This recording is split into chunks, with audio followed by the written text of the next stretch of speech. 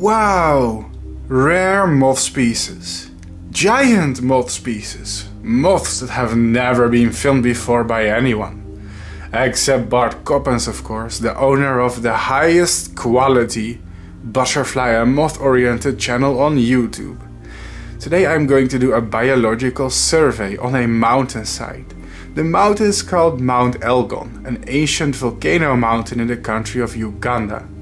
The current altitude is 2000 meters. On Mount Elgon there are many rare and even endemic species of plants and animals.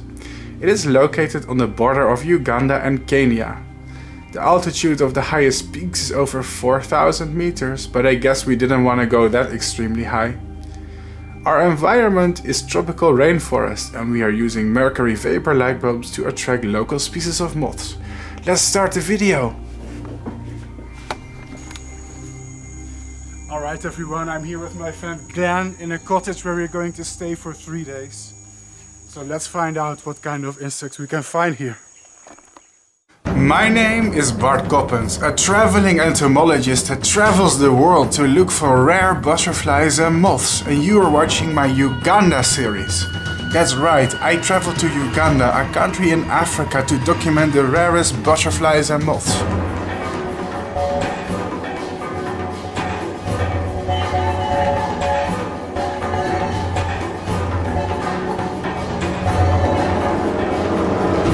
Find the playlist for more Uganda episodes. Ladies and gentlemen, are you back for another night of moth trapping in Uganda? In the tropical rainforest.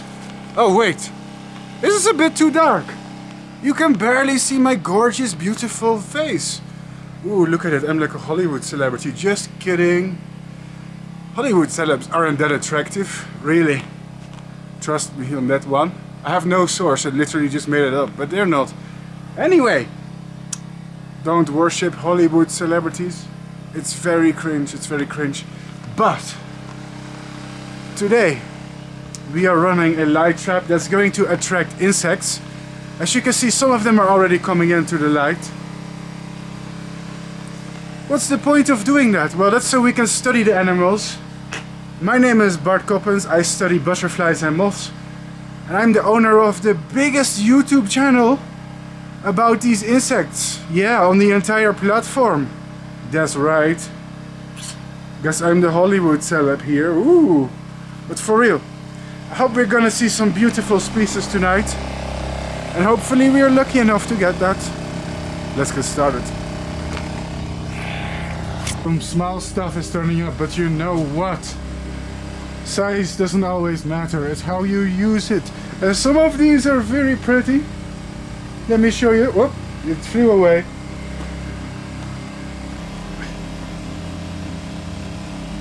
Take this one for example, ladies and gentlemen. This one, this is called the Plushy Bunny Moth. The scientific name is Meillandria xanthospila. And as you can see, this small species actually has some beautiful and intricate color patterns. So yes, even the small things matter. Even the small things are worthy of looking at. And the interesting thing about this species is I think I was one of the first to document its life cycle. I even have a video about that on YouTube somewhere on my channel. So it's cool to see it on in a wild. It's cool to encounter something that you've reared before in captivity. It's somewhat a common species, but females are much bigger and harder to get. This one is a male. Oh, and there it goes. So, as you can see, we're getting started. Well, well, well, ladies and gentlemen, a very big hawk moth just came in. Let me try and show it to you. Grab the camera. Interestingly, it did not want to land on the sheet.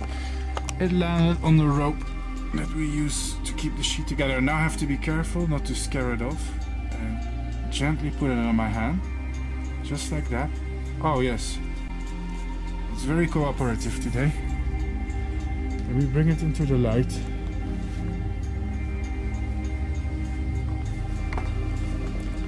Here's one of my favorite hawk moths again, my old friend Macropoliana. This right here is the biggest hawk moth that I've seen so far in Uganda. It is truly massive, I tell you. The species is Macropoliana natalensis. Hawk moths are important for the environment, often being pollinators for specific types of flowers. This species is found in a lot of countries, including Cameroon, Central African Republic, Congo, Ethiopia, Gabon, Ghana, the Ivory Coast, Kenya, Malawi, Mozambique, Nigeria, Sierra Leone, South Africa, Tanzania, Uganda and Zimbabwe. Caterpillars feed on plants such as Markhamia lutea or Nile tulip tree, Olea europaea or olive tree, Vitex reymani or pipe stem tree, Brachystegia and Spathodea. The markings and size of these moths are absolutely and incredibly gorgeous. Wow.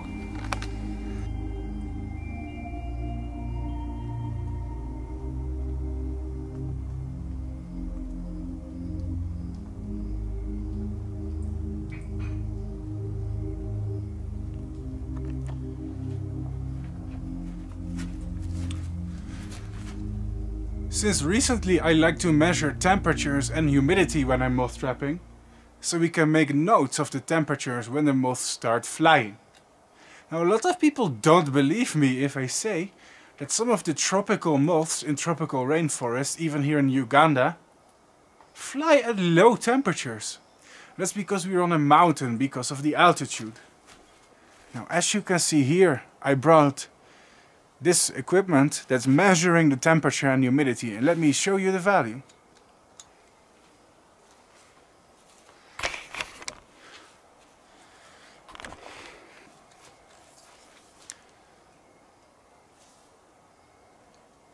That's quite cold, right? Obviously during the day it gets way warmer, way hotter out here because of the sun, but at night things cool down. And here on the mountain it's very moist, very humid and quite chilly actually. These could be temperatures you could get in summer in the Netherlands at night.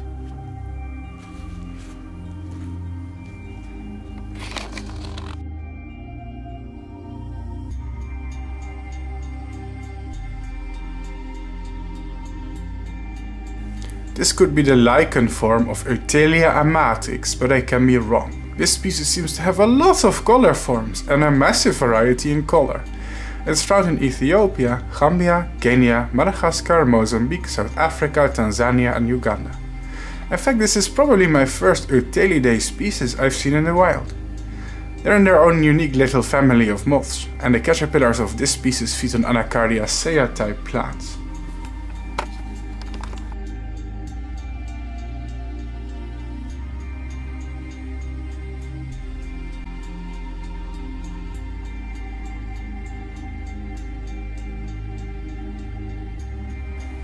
Noctuid with moon-like markings. I did not manage to identify it.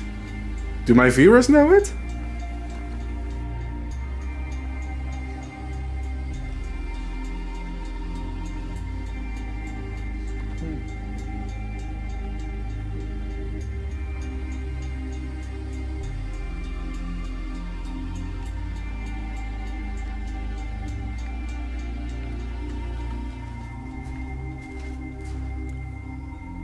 Alright folks, I just found a very fascinating erebid that I've always wanted to see in my life.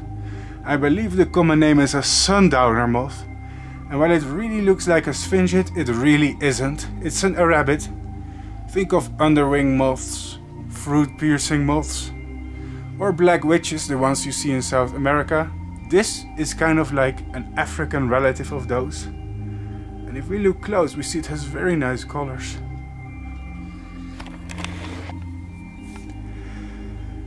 The Sphingomorpha chlorea moth boasts a mesmerizing palette reminiscent of a Renaissance painting. Its primary hue is a rich grey-brown, adorned with subtle olive-green undertones that evoke the hearty and earthy tranquility of a forest at dawn. Across its wings, Delicate stripes of creamy white and soft pink intersect like brush strokes on a canvas, adding a touch of ethereal elegance to his appearance.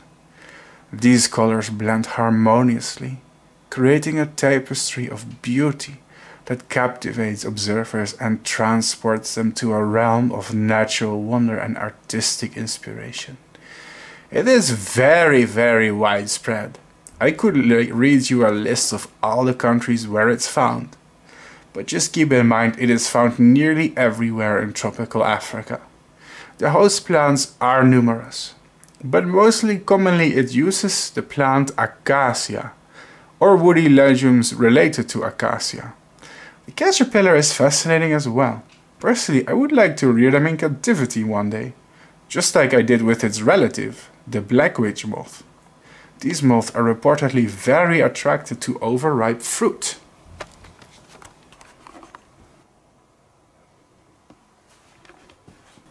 This could be Metarctia, but I'm not sure to be honest.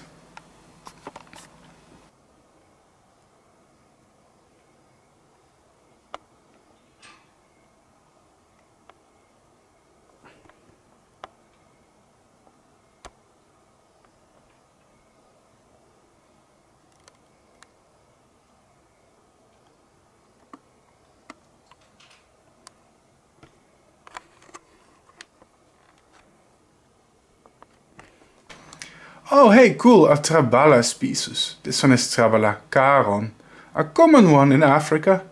Caterpillars of this species like plants from the Combretaceae family, like Terminalia or Combreta. They are very charismatic little lappet moths that look like leaves. Most species are typically a mix of green, brown or yellow.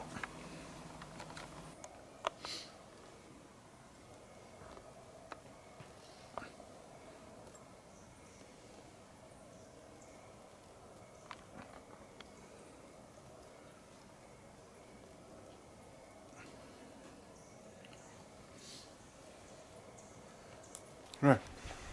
Ready? Yeah.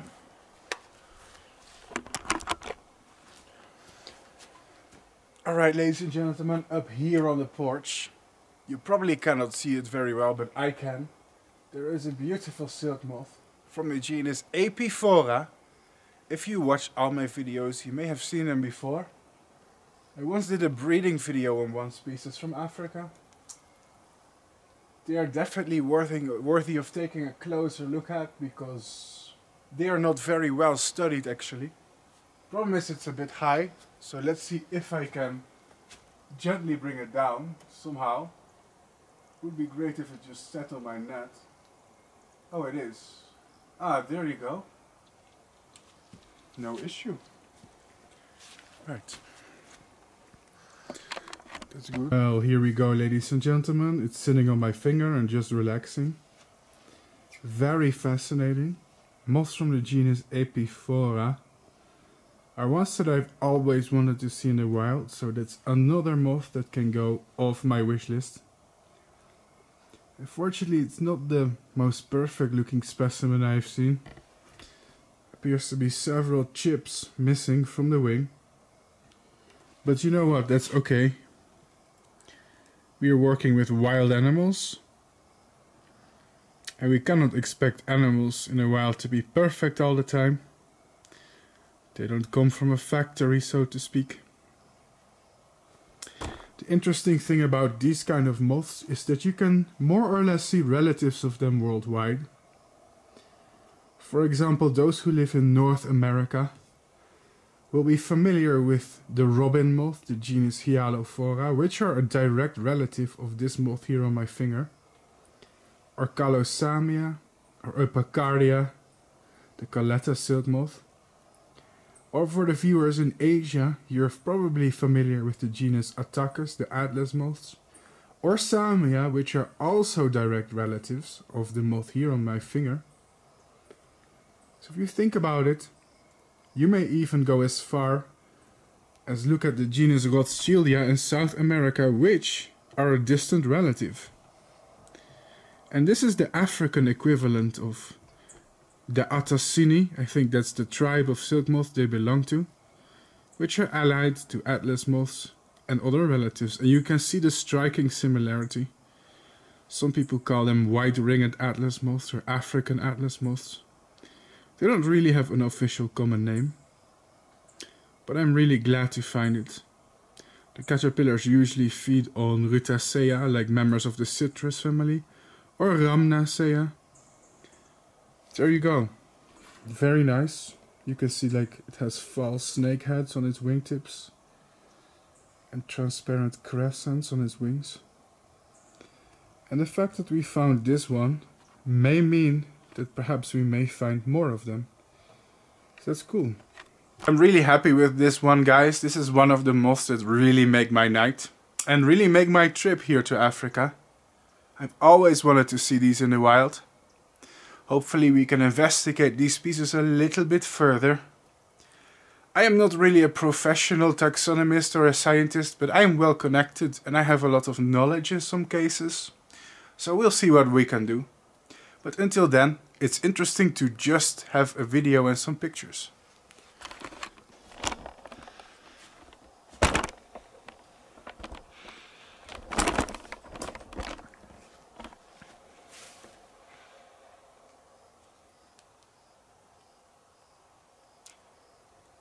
It's getting later at night. Some folks are sleeping. So we're talking a little bit less loud. So put your volume up so you can still hear me. Sorry if I am unshaven and unkempt. I'm sitting here in the rainforest for a few days. We have no water and a little electricity yeah, I don't have really time to take care of myself, so I'm going feral. And you have to forgive me for looking like that. But first, I noticed something cool. And the cool thing I noticed, it's this tiger moth. Now in Africa you have this special group of tiger moths with a very unique morphology, wing shape, and appearance. This is one of them.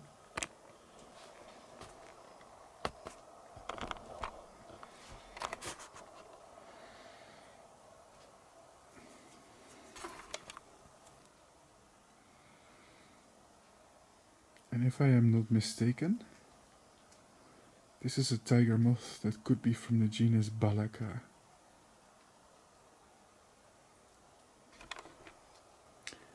Now what's really special about this group of African tiger moths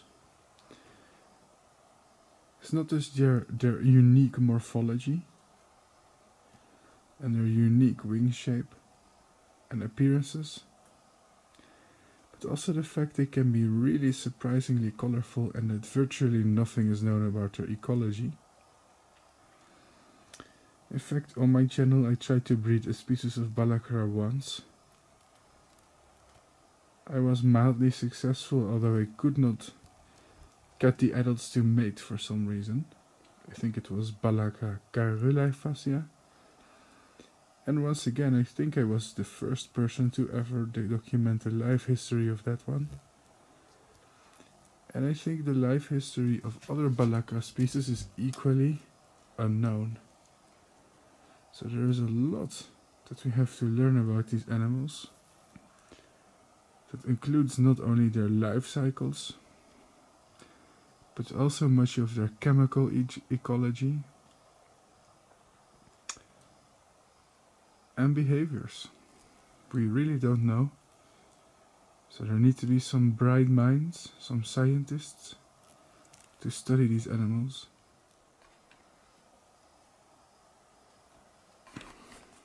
Hold on, just a small interjection for a moment, but to anybody who is interested in this group of moths and studying them, I recommend the Thyretini of Africa. So the Thyretini are a special group of tiger moths that are only found, as far as I'm aware, in tropical Africa. This book is one of the best works on the subject. It has plates of the genitals of these species but it also has color plates that show some of this. Ah, here is my species that I filmed right now. See? Balacra rubrostriata. And this is the book that I behind the scenes used to identify them. Guys, the internet is not great because the internet does not have every species, okay? Books still defeat websites. Books are still better than online sources even today. Buy books if you want to identify species and research them on a professional level. Sorry for this interruption in the video, we will go back to the moth soon. I really recommend this book and I've been using it myself to look at species like the balacra in this video. Let's continue. It does seem that females of them are a bit more rare in a moth trap. Once in a while I get males of these very unusual and colorful moths. But so far I have not seen any females. However, just enjoy their colors, I suppose. Wow, really colorful abdomen, white with the red spots. Very cool. So tonight we have this interesting setup here with two different lights. It seems to be working. The night tonight is mildly productive. I would not go as far as to call it a quiet night. Because we got some really interesting stuff, such as that sundowner moth and the Epiphora, that cool silk moth. You know, the atlas atlas moth like moth that we just found. And some other cool stuff, like that big tiger.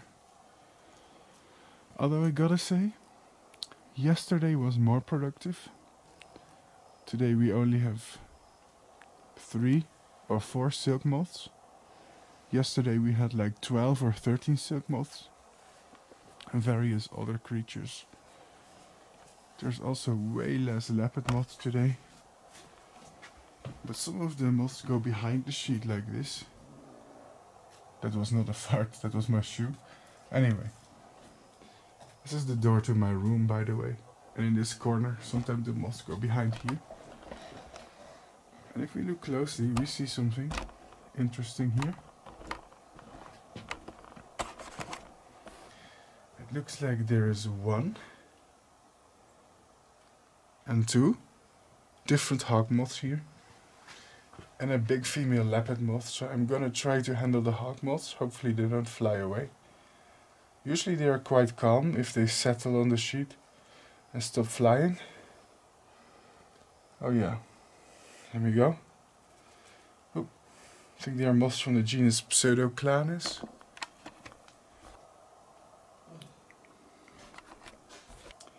So these hawk moths are from the genus Pseudoclanis, which seem to be quite plentiful here in Africa. There's many species of them. Many of them tend to have these yellow hindwings, which is quite interesting. I think if you bugger them... Oh, do you hear that sound?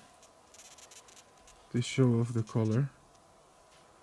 Supposedly it scares away predators.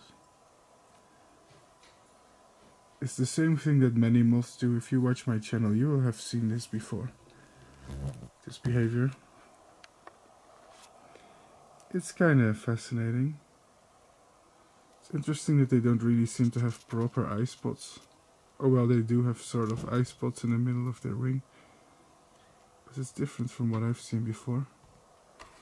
Anyway, seems like there's two of them sitting together. Hmm. Interesting little animals.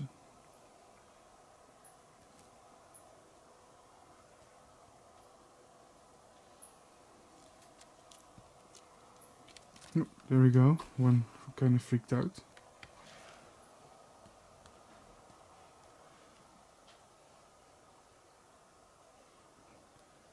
Anyway, there you go ladies and gentlemen. A little bit of African hawk moth goodness. I gotta say the, uh, the hawk moths here in Uganda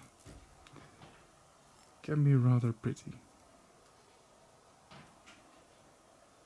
There you go.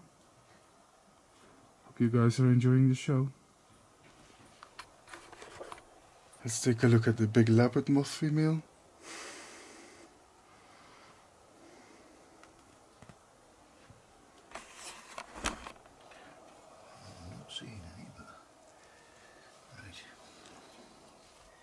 This giant moth kinda looks like a dead leaf. It is the female of a yet unidentified species of Mimopacha. Identifying the females of these lappet moths is hard because they are more rarely photographed, collected or documented than the males. But it is a genus of lappet moths that has a dozen or so species in Africa, I think. Do you recognize the species for me? If then, then please leave me a comment. I was not sure what species to identify it as, but it is large. Since this is a female, it could be interesting to see if she can lay eggs for captive breeding purposes. I do like these fascinating types of lappet moths. Very beautiful.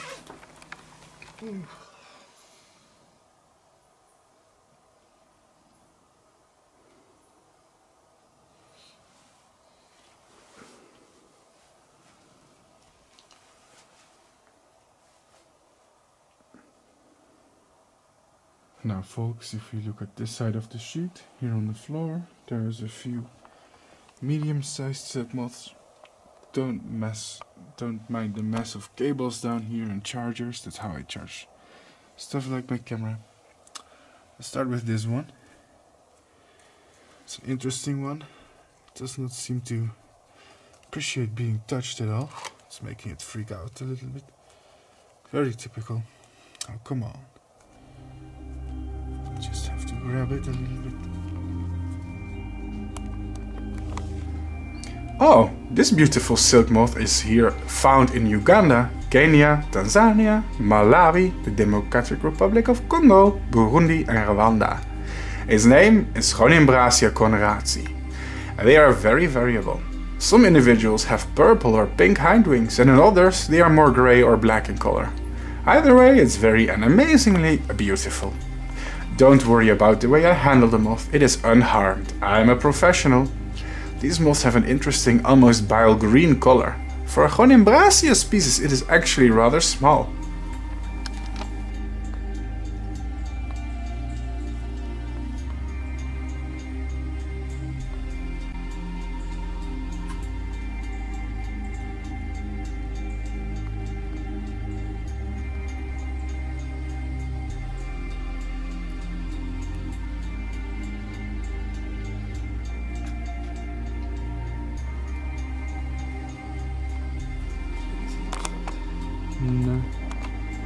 Badly damaged silk moths.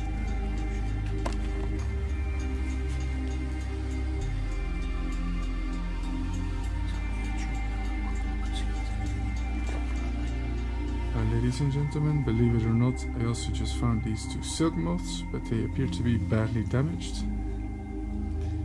Especially the one on top here.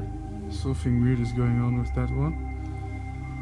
Looks like it's gotten stuck under somewhere and rubbed off most of its scales, which makes it quite ugly at the moment. It also appears to be a runt. I think both of these are actually the same species. Both of them are males. This one here is very large and very colorful. But just compare it to the size of this presumably the same species runt. This just goes to show that runs happen in nature too. And the reason I'm saying that is because my channel is also about breeding silk moths in captivity.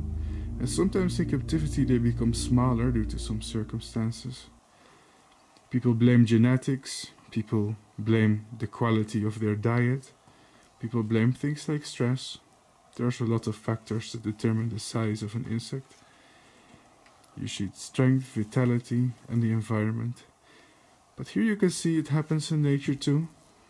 Because this individual down here is really small compared to the usual size of this species. Could mean it was probably weaker or it was outcompeted when in terms of food. When the tree was defoliated, you never know, you never know. Very beautiful species. It could be Nudaurelia dione or something related. I'll write the name in this video so you know it's accurate. It's really funny to finally see Nudaurelia dione in the wild. This silk moth is really common. It's also gorgeous. I love their color and pink soft accent and cute little faces.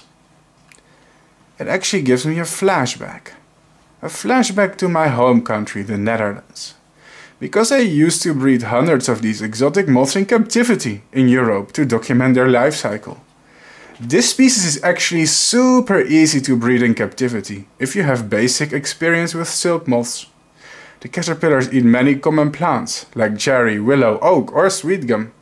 And the caterpillars are black and yellow and look rather intimidating, but are harmless despite their intimidating looks. It's really cool to see species in the wild in their natural habitat that I used to raise in captivity in the past. Maybe I'll make a life cycle video of them someday.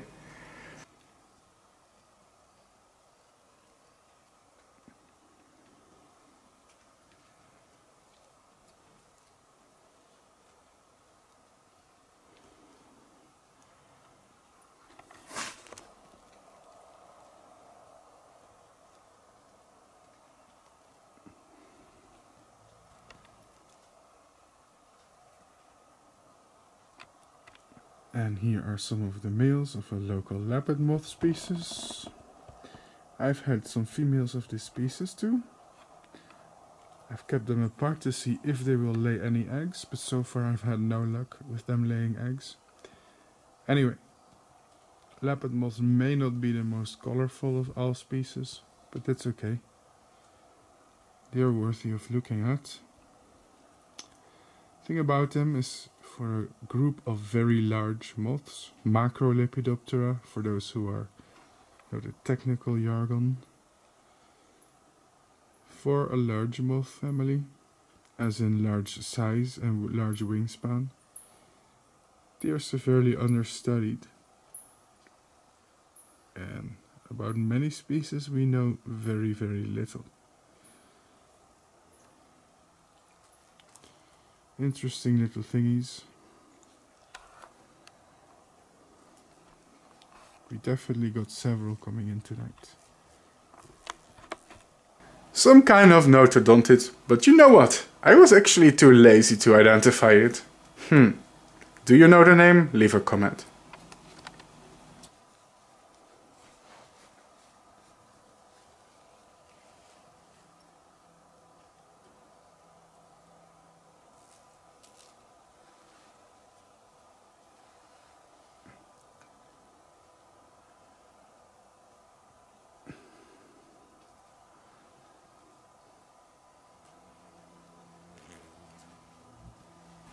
In my time here, I'm actually taking some DNA samples.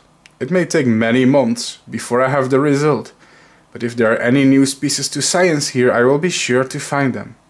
I don't just film moths for YouTube entertainment, but also for research purposes. Although the conclusion of this type of research can take many months.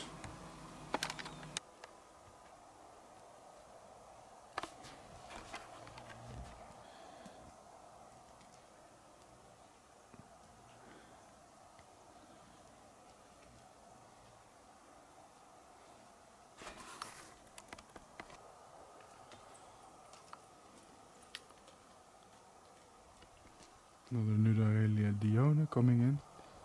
As you can see folks, this is how they fly.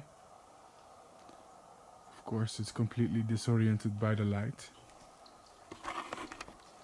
This person right here is my friend Glenn. Glenn, if you're watching right now, I hope you are satisfied with the videos. Thank you so much for inviting me to Uganda.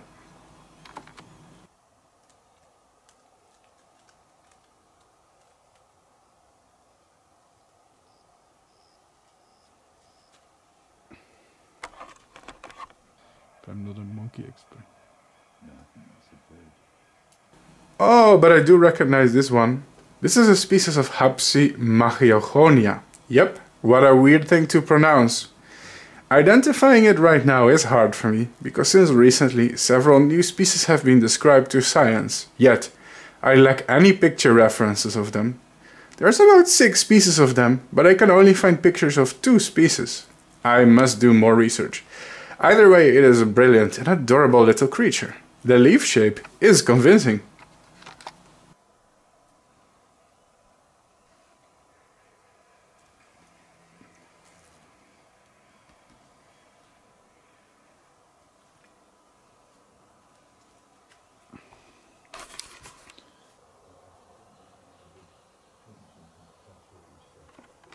Well, everyone, the sun is coming up. You know what that means. It's the end of this episode.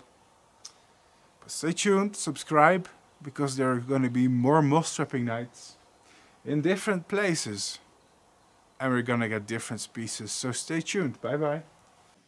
Thanks for watching, everyone. This was Bart Coppens, and I was kindly here invited to the country of Uganda by my friend Glenn. Hi. Thank you very much, Glenn. It has been a wonderful experience to see this country and its wildlife for real. Now, what we are trying to do here, this is the property of Mr. Glenn, and we would like to see if we can get tourists or visitors on this property that we are trying to develop. So if you are interested in visiting this place, then feel free to either contact me or contact Mr. Glenn. I will put the contact information in the description of this video or I will pin it in the comments. Thank you very much and see you in the next video. Do you want to observe moths and do moth trapping in Uganda the same way I do? It could be possible in the future. Because in the future me and Mr. Glenn will release a website where people can book trips to Uganda. Mr. Glenn owns a property in Uganda and in the future people could rent it from us to have a nice vacation in Uganda or a wildlife trip. If that sounds interesting to you, then leave a comment. Once the website is ready, I will reply to your comment to notify you. It could take a few months to develop everything, because sadly I'm a very busy man nowadays, and organizing trips and excursions and making a whole website takes a lot of time and resources, but it is going to happen. See you soon with more Uganda insect videos. Oh, remember the balacra species from last night? Turns out it flew and landed on the bushes near the light. Next morning it was still chilling there in broad daylight. This gave me an opportunity to film this beauty in broad daylight. Enjoy the close-up. Don't forget, subscribe and check back on my channel once in a while. New stuff is coming.